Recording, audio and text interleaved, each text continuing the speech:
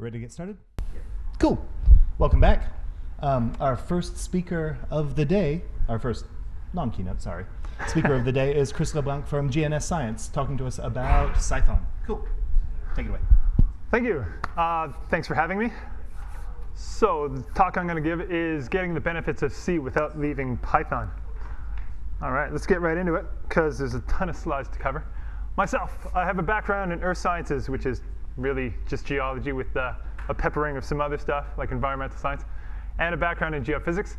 I've been using Python since roughly 2001. Uh, I'm now a software developer for, for GNS Science working on something called Globe Claritas.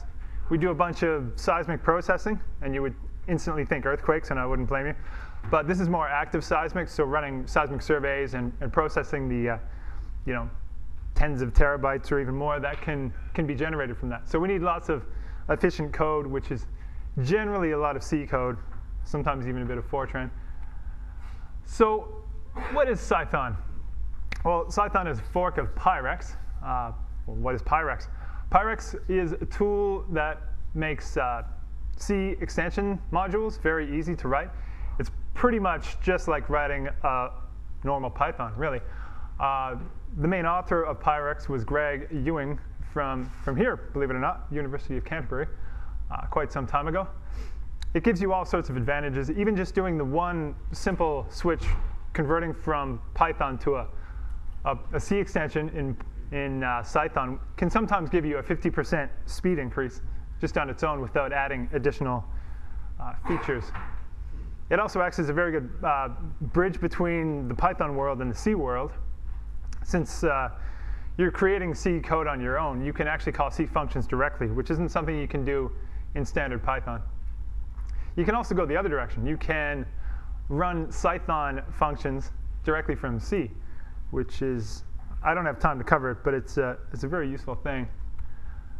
All right, let's get into the demos here. So here's a very, very simple demo uh, straight from the Python 2 documentation.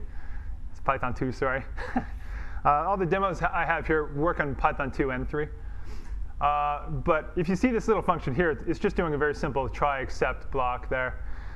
And that's only, what, five, six lines or so. Now, whoa, here's the, uh, here's the C code that implements it. And that's not even all of it. There's some more, and there's some more. Don't worry, I'm not going to go through this code because it's, it's kind of nasty. But you can see we have to use things like this PyObject get item. That's part of the uh, Python C API. You have to check for any errors. You have to worry about uh, all your uh, reference counting. So you have to manually increase and decrease reference counts. And you have to know when, when to do this and when not to do it. It's all pretty bad. So if we can get away from this and stay in Python, that would be a much better thing. And that's what Cython gives us. So it's, I won't go through all these bullet points, but it's, it's mainly Python. It gives you excellent compatibility between Python 2 and 3. You get all those things you're used to, like uh, garbage collection and, and string handling. It does some really useful things, such as uh, conversions between Python types and C types. So in Python, an integer, it doesn't really have uh, you know, a, a, specific size to it. It has sort of arbitrary precision, whereas C has uh, types of very definite sizes. So Cython will handle a lot of that automatic conversion for us.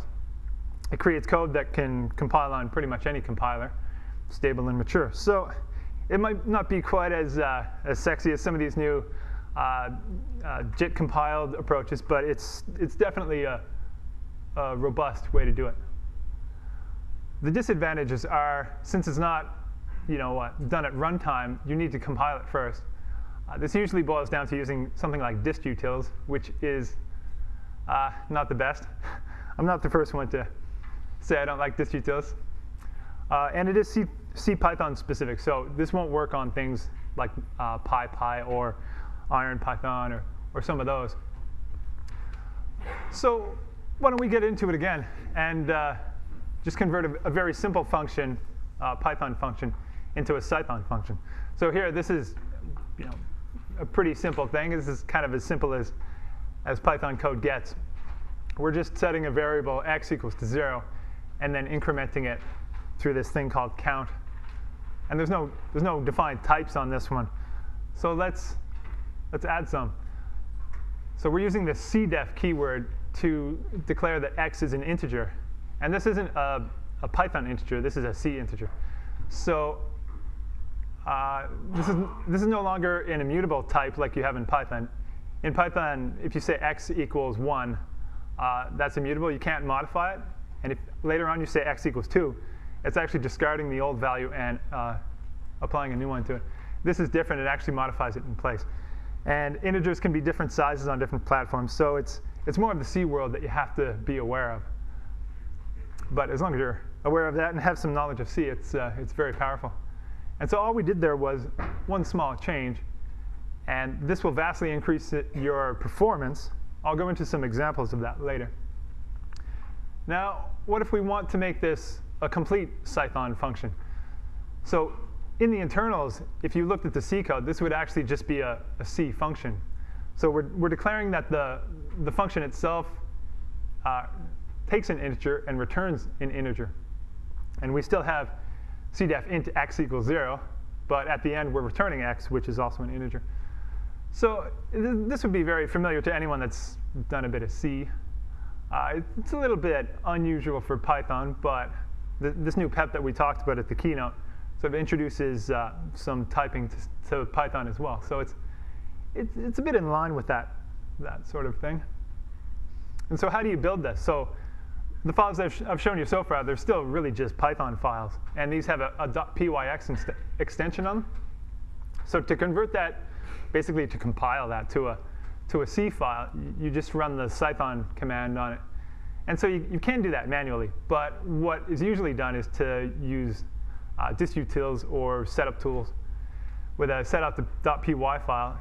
And you just use the, the build ext infrastructure that exists in Python to do all the, all the hard work for you.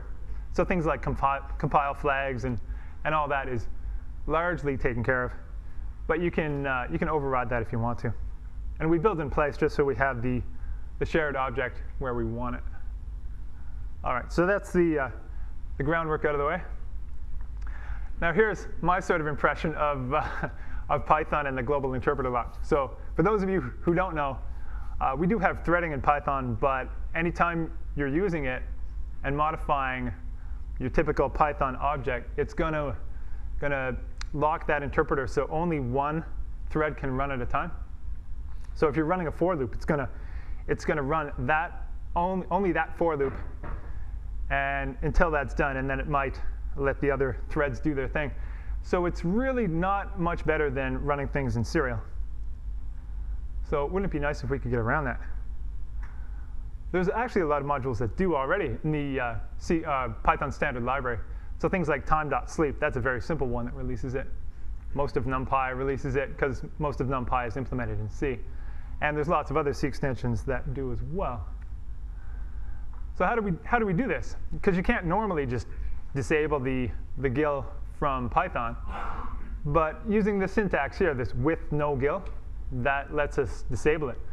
So at that point, things running in parallel, even just using standard Python threading, will actually work uh, at the same time. So you'll get, you'll get a speed up like you would expect to get with multi-threading. Now, there are some caveats with this, and that is that uh, you basically can't modify any Python object in here. And so that's a, that's a bit of a bad one. So as long as you're dealing with Cython C-style uh, objects and variables, you'll be fine.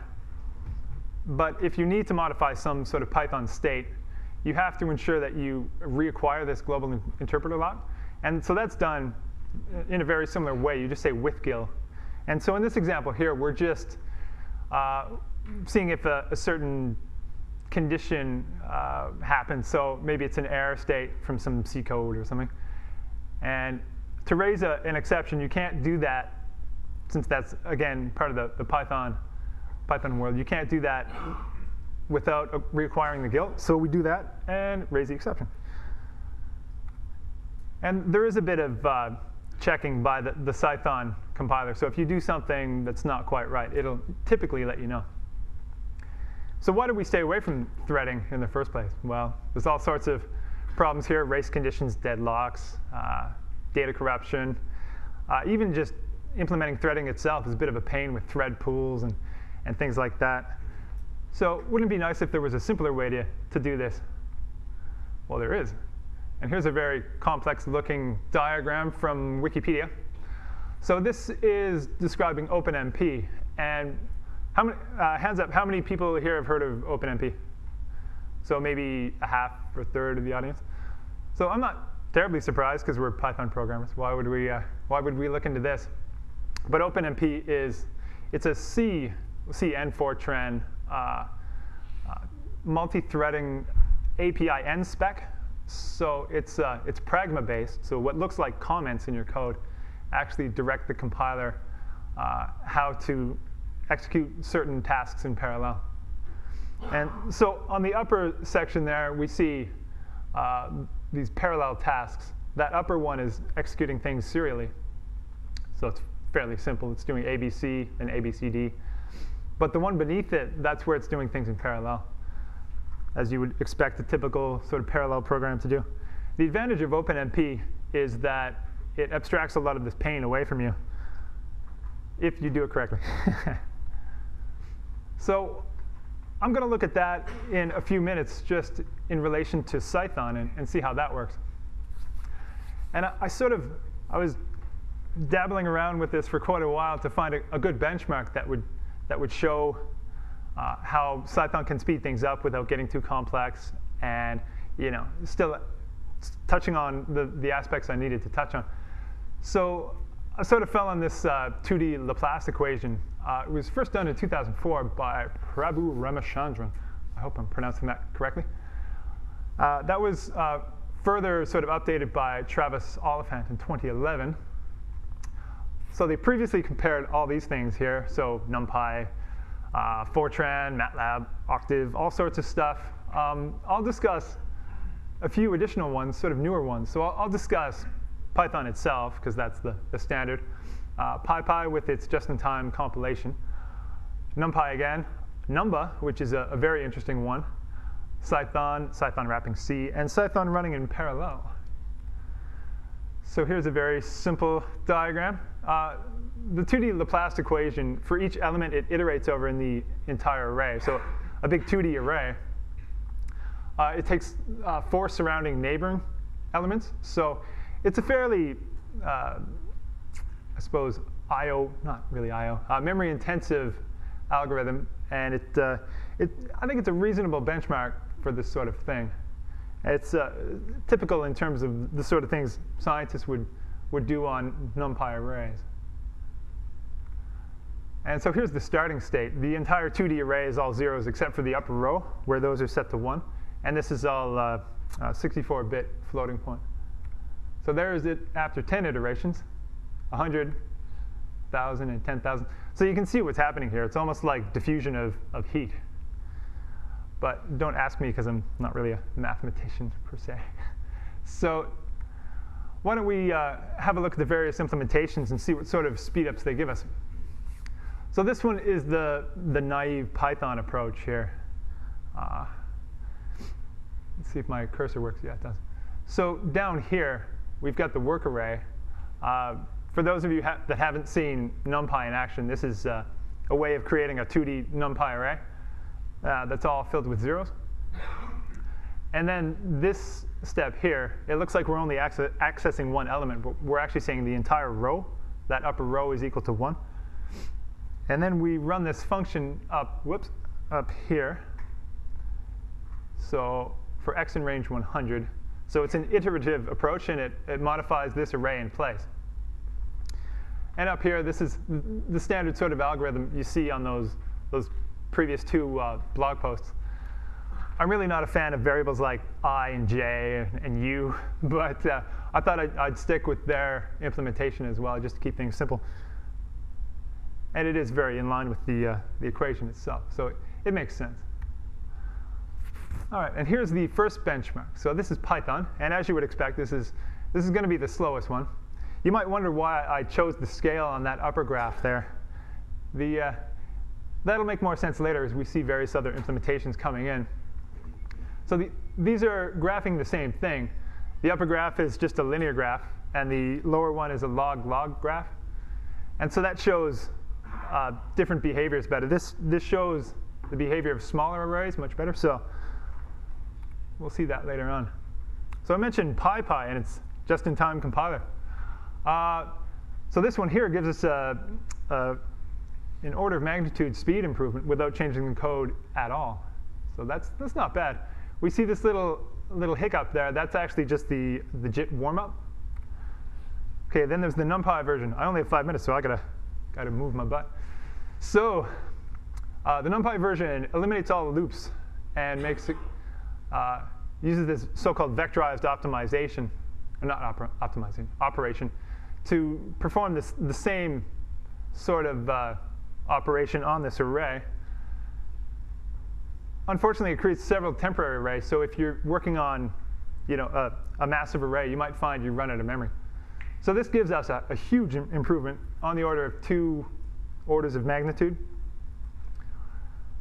OK, so then we move on to Numba. So Numba is this new thing. It uses the LLVM, or low-level vir virtual machine, that lots of things are using, like, uh, like Julia, that other language.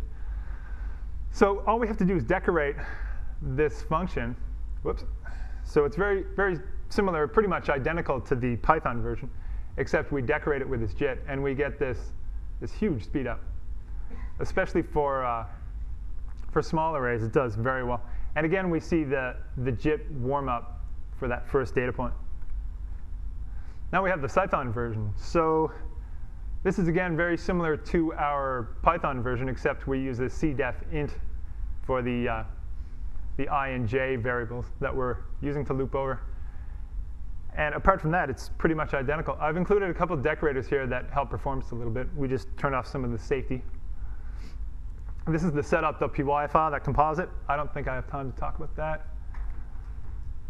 And so that's, yeah? OK, cool. All right, so the setup.py file we use to compile from the C code to a, shared object in Linux or DLL on Windows. Uh, the magic all happens here in this Cythonize command. Apart from that, it's all just very simple, relatively simple, very, very standard uh, distutils approaches here. So this creates a, an extension module called demos in this case. All right. And that gives us the purple graph we see down here. And so that's very similar to Numba. And I'm actually very impressed by Numba's performance here. So that's Cython, which is very similar to C. But why don't we see how fast this runs if we just wrap a C function that we already have? And so this is something we do a lot at my job because we have you know, oodles and oodles of C code that's very optimized and has been running for, for many years. So it would be foolish to just throw it away. So what we do here, it's very similar to including a .h file in a, in a bit of C code. This is Cython syntax. We say cdef extern from, and then give it the header file we have. And so that does a bit of type checking for us. And then we, uh, we specify the, the function prototype there. And here's the, the function that actually does it. So here's how we declare that our u object is a numpy array, or nd array as they call it. Then we've got other variables. We don't actually give them a type here because it, it handles the, the type conversion on its own. So then we run this C function directly. So unlike C types, we don't have to declare input types and you know response types, since it's really just a C code, uh, a C function call at this at this stage. And this is an interesting way of getting the pointer to that numpy array, the first element in it, since it's really just a contiguous amount of C memory as far as this thing is concerned. So we do the ampersand 0, 0, which is very C-ish. And then we pass in the shape and other variables. OK, there's the C code. Enough said. uh, then we get on to the, the Cython C wrapper. So the, the only real difference here is we're including this, this .c file. If it's just a simple C file without any other dependencies, we can just stick it in there. And Python can compile it for us. And again, it's, it's right on that sort of lower curve. So it's, it's up with the fastest of them. It's only slightly faster than the Cython version. Okay, so let's get on to something a little more interesting here, the uh, parallel. So the, the parallel aspect of Cython, there's only two things you, you really use as a user. There's the, the parallel directive. So anything inside a parallel block is local to that thread, so sort of thread local buffers. And then there's prange. So prange uses OpenMP that I mentioned earlier to spawn multiple threads and have things run in parallel. It also does lots of other sort of trickery for us, so in terms of synchronization and, and things like that. If you really want to get a bit more low level, you can use the OpenMP module in Cython. So if, for example, you wanted the number of threads, that's how you do it. And that's just a, a wrapper to, to OpenMP and, and their API. So this is almost identical to our previous Cython version. The only change here is I've replaced an X range with a P range. And I had to say no GIL equals true. So anything inside this for loop uh, is not allowed to uh, modify a Python object. Or if it does, you have to reacquire the, the global interpreter lock. And in this case, we're, we're just modifying this NumPy array. And that is a, a Python object, but it's really just a C buffer as far as this is concerned. So let's see the, the response here. We can see we get on the order of, I think it's 3.2 times faster with uh, a four-core machine. That's most likely because it's, it's not really an algorithm that's, that's perfectly suited towards being run in parallel. If you had something that was embarrassingly parallel, you'd probably get even better performance. Down here, we can see there's a bit of a, a hitch there. It's always there, no matter what. Uh, and at, at small array sizes, you can see the performance actually drops off quite a bit. But that's because it's running on four threads. Programmatically, you can say, you know, if such and such condition, then let's just use one, one thread. And so if you do that, you get your standard C serial performance again. Whoop. OK. So what if you need more performance? Well, you can mess around with compiler flags. All right? I, I don't recommend that. You won't really get that order of magnitude speed up you want. I would think PyCUDA, OpenCL, they would get you one or two, maybe more orders of magnitude. NumPy does the same sort of thing. OpenMP4 is similar to what we had already, except it offloads things onto the GPU. So potentially, P-range could give us a massive speed up without any added complexity. There's also distributed parallelism, so MPI, IPython, Spark, et cetera.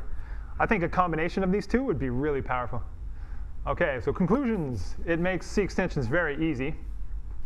Uh, it offers excellent performance, especially in parallel. Uh, I'm also very impressed by Numba. Uh, they used to have a P range, but they removed it because it wasn't exactly stable. I have a feeling that'll probably come back in the future, but for now, there, there's no simple equivalent to Cython's P-range. And here's some arbitrary scores I, I gave all these approaches. I think both Cython in parallel and Numba are probably the, uh, the shining stars here. But if you want simple code that still runs fast, and your, your problem is uh, well tuned towards it, I think NumPy is, is the, the default option. OK. Thank you. And there's some links.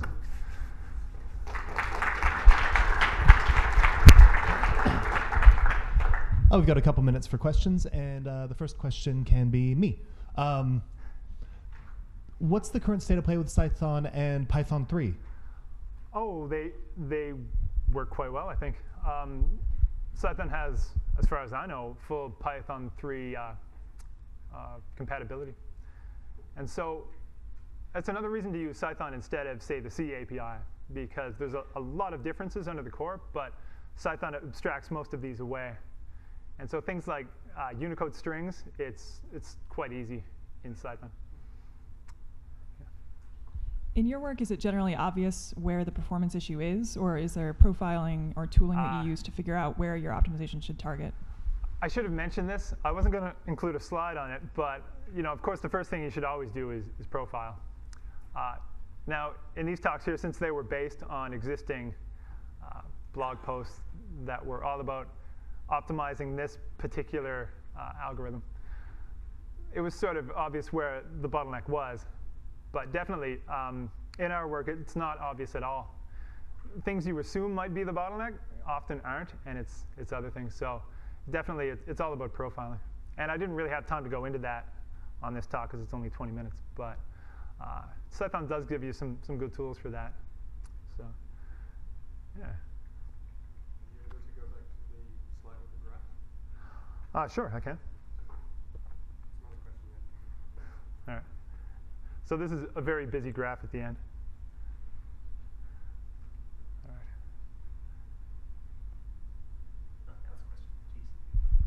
Yeah, no. Is it on? It is. Now it is a question. Um, so, so what looking at this graph tells me at the moment, and I'm not sure if I'm if I'm missing an important point, is that neither Cython nor Numba are considerably faster than NumPy at large array sizes. Yeah, I would, I would tend to agree. I mean, So, I, I, I mean- didn't I mean, if- expect this. If I look at small arrays, I probably don't need that level of optimization in many cases. So, It's true. so I'm, I'm just trying to make a point for NumPy. Um, and, and Yeah, I, I because agree. it's- yeah. Um, I'm actually surprised to see uh, NumPy and and all the other approaches be so similar. And it's one reason why I included a graph instead of just numbers for one array size because you can see it depends greatly on on what your array size is. So I'm I'm definitely very surprised that NumPy is as fast as, as it is because I would expect another order of magnitude speed up from going to C. And so either there's something wrong in my code where I'm, I'm testing these speeds, or over the past, say, four years, there's been some real optimizations to, to NumPy itself, which is definitely very possible. So I, I actually agree. I think if your, your problem doesn't require you know, multiple cores and, and doing things in, in parallel, and NumPy is fast enough for you, then absolutely go with NumPy. Uh, the one condition on that one is if you're using lots of memory, uh, this sort of approach won't work very well at all. But we all knew that. Tempted to finish the talk on Cython with just use NumPy, but is there any other questions? I think the parallel thing is pretty cool. That's only four cores. If you had 16 or 32, that would be uh, quite nice. cool. Thank you, Chris, for telling us not to use Cython. Thank you very much. All right, you're welcome.